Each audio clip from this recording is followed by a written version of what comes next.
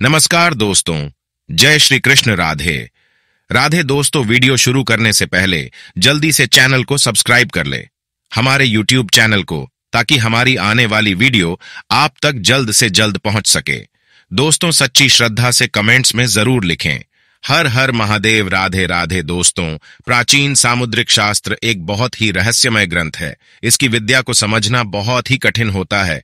आज भी इसे पूरी तरह से कोई समझ नहीं पाया है। सामुद्रिक शास्त्र की विद्या से किसी भी मनुष्य के स्वभाव एवं भविष्य के बारे में जानकारी प्राप्त की जा सकती है।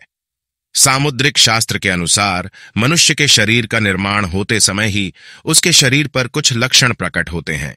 जैसे जैसे वह शरीर बढ़ता जाता है, कालांतर में अनेक लक्षण दिखाई देने लगते हैं। प्रत्येक मनुष्य के शरीर की बनावट शास्त्रों में बताए गए नियमों के आधार पर ही होती है। और उसके शरीर पर प्रकट होने वाले कई निशान उसके पूर्व जन्म के बारे में जानकारी देते हैं। वहीं शरीर के अंगों की बनावट तथा अन्य निशान उसके भाग्य की जानकारी देते हैं।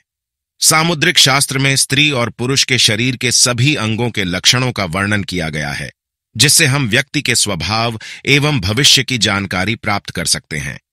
आज हम जानने वाले हैं, स्त्री और पुरुष के शरीर के अंगों के आधार पर उनके भविष्य से जुड़े संकेतों के बारे में जैसे अगर किसी व्यक्ति के दांतों में गैप होता है तो उससे व्यक्ति के व्यक्तित्व और भविष्य की जानकारी प्राप्त होती है। हथेली पर बने निशान आँखों का आकार, पैर का आकार तथा शरीर के विभिन्न अंगों पर बने तेल के निशान के आधार पर उस व्यक्ति के बारे में महत्वपूर्ण जानकारी प्राप्त होती है। सामुद्रिक शास्त्र के अनुसार, बचपन से ही कुछ व्यक्ति के शरीर पर ये निशान प्रकट होते हैं, और जैसे जैसे उनकी उम्र बढ़ती है, यह निशान और भी अधिक स्पष्ट दिखाई देने लगते हैं। दोस्तों, प्राचीन काल में शरीर पर बने इन्हीं चिन्हों के आधार पर ही विवाह के लिए जीवन साथी की तलाश की जाती थी। शास्त्रों में उन सभी शुभ अशुभ लक्षणों का वर्णन मिलता है, जो एक व्यक्ति के भविष्य से जुड़े सभी राज खोलते हैं। इसीलिए आप भी जान लें। आपके शरीर पर बने निशान आपके बारे में क्या कहते हैं? आपको सफलता कब मिलेगी? नौकरी कब मिलेगी? आपको कैसा जीवन साथी मिलेगा तथा आपकी आर्थिक स्थिति कैसी रहेगी? इसी के साथ ही व्यक्ति के स्वास्थ्य से जुड़ी जानकारी भी हमारे शरीर पर बने ये निशान हमें देते हैं। इसीलिए हमें इन्हें गौर से देखना चाहिए और कभी दो लक्ष्य नहीं करना चाहिए। तो चलिए, जान लेते हैं।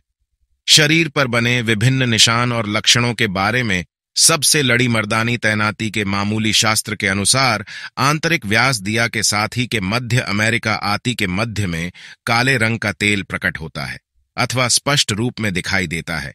तो इसे बहुत ही शुभ संकेत समझना चाहिए। शास्त्रों के अनुसार ऐसा व्यक्ति भाग्यशाली माना गया है। ये लोग परिवार में और समाज में अपना अलग ही स्थान बना लेते हैं। यह अपने अथक परिश्रम से व्यापार में तरक्की करते हैं। समाज में मान प्रतिष्ठा स्थापित करते हैं। छाती पर तेल वाले लोग बहुत ही साफ़ दिल के होते हैं। इनके अच्छे स्वभाव के कारण इनके बिगड़े काम सदैव ही बनते हैं। इनकी आर्थिक स्थिति भी बहुत अच्छी होती है। धन प्राप्ति के लिए ये लोग सदैव आतुर रहते हैं। यदि किसी स्त्री के छाती के मध्य में तिल का निशान होता है तो उन्हें सजना संवरना अधिक पसंद होता है। इन लोगों के अंदर कोई ना कोई कला अवश्य होती है, और उसी कला का उपयोग करके ये लोग बहुत धन अर्जित करते हैं। इनका वैवाहिक जीवन सुख शांति से भरा हुआ रहता है। खासकर विवाह के बाद इनका भाग्योदय होता है, अर्थात इन्हें शादी के बाद कामयाबी मिलती है। इनका जीवन साथी हर कार्य में इनका साथ देता है। दूसरा स्थान है, नाक पर तिल का निशान। सामुद्रिक शास्त्र के अनुसार नाक पर तिल होना शुभ लक्षणों में से एक है। नाक पर तिल वाले व्यक्ति का मन बहुत ही साफ़ होता है, किंतु इनकी प्रकृति शीघ्र कोपी होती है, अर्थात यह लोग जल्दी गुस्सा हो जाते हैं। इन्हें हँसी मज़ाक करना अच्छा लगता है। लेकिन यह अपने मन में किसी के प्रति द्वेष की भावना नहीं रखते हैं और कभी किसी के साथ छल अथवा कपट भी नहीं करते हैं। सामुद्रिक शास्त्र कहता है, नाक पर तिल वाले लोग स्वाभिमानी होते हैं और यह कर्म पर विश्वास रखते हैं। ऐसे जैसे इनकी उम्र बढ़ती है, यह और भी अधिक कामयाब बनते जाते हैं। शास्त्रों के अनुसार नाक पर तिल वाले व्यक्ति को तीस की उम्र के बाद सफलता प्राप्त होती है। इन लोगों को अपने परिवार से बहुत अधिक प्रेम और सम्मान मिलता है। नाक पर तिल वाली औरतें बहुत बुद्धिमान होती हैं। ऐसी महिलाएँ जीवन में कोई बड़ा कार्य सिद्ध करती हैं। करियर में इन्हें बहुत सफलता प्राप्त होती है। इनकी वाणी अत्यंत मधुर होती है, जिससे यह किसी का भी मन मोह लेती है। नाक पर तिल वाले लोग चाहे नौकरी करे या व्यापार, इनके भाग्य में हर क्षेत्र में तरक्की होती है। तीसरा स्थान है, हथेली पर तिल का निशान। जिन लोगों की मुट्ठी बंद करने पर मुट्ठी में तेल बंद हो जाता है। ये लोग छोटी उम्र से ही प्रसिद्धि प्राप्त करते हैं। इनके अंदर कोई ना कोई श्रेष्ठ कला होती है। छोटी उम्र से ही ये लोग दूसरों को अपनी ओर आकर्षित करते हैं। इसी कला के कारण ये लोग आगे चलकर यशमान और प्रतिष्ठा प्राप्त करते हैं। हथेली पर तिल वाली महिलाएँ बहुत ही भाग्यशाली होती हैं। इनके पास धन आता ही रहता है। इन्हें कम खर्च करने वाली गृह कार्य में दक्ष माना गया है। ये अपने परिवार से बहुत अधिक प्रेम करती है। और एक ही पुरुष के प्रति एक निष्ठ होती है। हथेली पर तेल वाले लोग अपनी कला से जीवन में बहुत अधिक धन प्राप्त करते हैं और अपने परिवार की हर ज़रूरत को पूरा करते हैं। दांतों के बीच में गैप का होना दोस्तों, सामुद्रिक शास्त्र के अनुसार दांतों के बीच में गैप होना एक प्रकार से शुभ लक्षण ही माना जाता है। खासकर स्त्रियों के लिए यह लक्षण अत्यंत शुभ माना गया है। दांतों के बीच में गैप वाली महिलाएँ बहुत ही बुद्धिमान और समझदार मानी गई हैं। ऐसी महिलाएँ जीवन में बहुत बड़ी कामयाबी हासिल करती हैं। इनके पास धन संपत्ति की कोई कमी नहीं रहती। लेकिन यह गैप केवल सामने के दो दांतों में ही होना। चाहिए अगर सभी दांतों में गैप है तो उसे अशुभ माना जाता है। आदि के दो दांतों में गैप वाले लोग हर क्षेत्र में काम भी हासिल करते हैं। इनके अंदर बहुत प्रतिभा होती है और यह मुश्किल से मुश्किल काम को भी आसानी से कर सकते हैं। लेकिन इन लोगों में एक कमज़ोरी पाई जाती है। ये लोग जल्दी ही दूसरों का भरोसा तोड़ देते हैं। अर्थात ये लोग अपने फ़ायदे के लिए दूसरों के नुकसान के बारे में नहीं थे।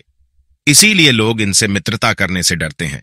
हथेली पर एक का निशान, सामुद्रिक शास्त्र के अनुसार, हथेली पर एक्स का निशान मतलब व्यक्ति एक लीडर बनने की क्षमता रखता है। ऐसे लोग बहुत मान सम्मान और कीर्ति प्राप्त करते हैं। ये अपने पीछे बहुत बड़ी विरासत छोड़ जाते हैं। ऐसे लोगों को उनकी मृत्यु के बाद भी याद रखा जाता है। हथेली पर एक्स का निशान बुद्धिमान और ज्ञानी लोगों की निशानी माना गया है। ऐसा माना जाता है कि पूरे संसार में केवल तीन प्रतिशत लोगों की हथेली पर ही ऐसा निशान होता है। सामुद्रिक शास्त्र के अनुसार, बड़ी आँखें, लंबी उंगलियाँ, लंबे बाल, लंबी नाक और सिर्फ़ के आकार के तलवों वाली महिलाएँ बहुत ही भाग्यशाली होती हैं। जिस स्त्री का मुख उसके पिता के समान होता है ऐसी स्त्री को चरित्रवान और बहुत ही दयालु स्वभाव का कहा गया है। ऐसी स्त्री हर प्रकार के दुख को सहन कर लेती है और कभी क्लेश नहीं करती है। ऐसी स्त्री किसी भी स्थिति में अपने पति का साथ नहीं छोड़ती है। पिता के समान मुख वाली स्त्री की वाणी मधुर होती है और यह कभी कभी वाणी नहीं बोलती है। इसीलिए ऐसी स्त्री को विवाह के लिए सर्वोत्तम माना गया है। दोस्तों, सामुद्रिक शास्त्र में एक बहुत महत्वपूर्ण बात का ज़िक्र किया गया है कि अगर किसी स्त्री के पैर की कनिष्ठिका उंगली, अर्थात सबसे छोटी उंगली अगर ज़मीन को स्पर्श नहीं करती है तो ऐसी स्त्री को बहुत दुख भोगने पड़ते हैं। लेकिन जिस स्त्री के पैर की कनिष्ठिका उंगली ज़मीन को स्पर्श करती है, उसे अत्यंत शुभ माना गया है। तो दोस्तों, इस प्रकार से हमारे सामुद्रिक शास्त्र में भाग्यशाली स्त्री और पुरुष के लक्षणों के बारे में बताया है। क्या आपके भी शरीर पर ऐसे निशान प्रकट होते हैं? तो कमेंट में जय माँ लक्ष्मी और जय श्री कृष्ण अवश्य लिखें। अगर यह वीडियो अच्छा लगा तो लाइक ज़रूर करें और चैनल को सब्सक्राइब करें। आप सभी का धन्यवाद। तो मित्रों, आज के लिए बस इतना ही, फिर मुलाकात होगी।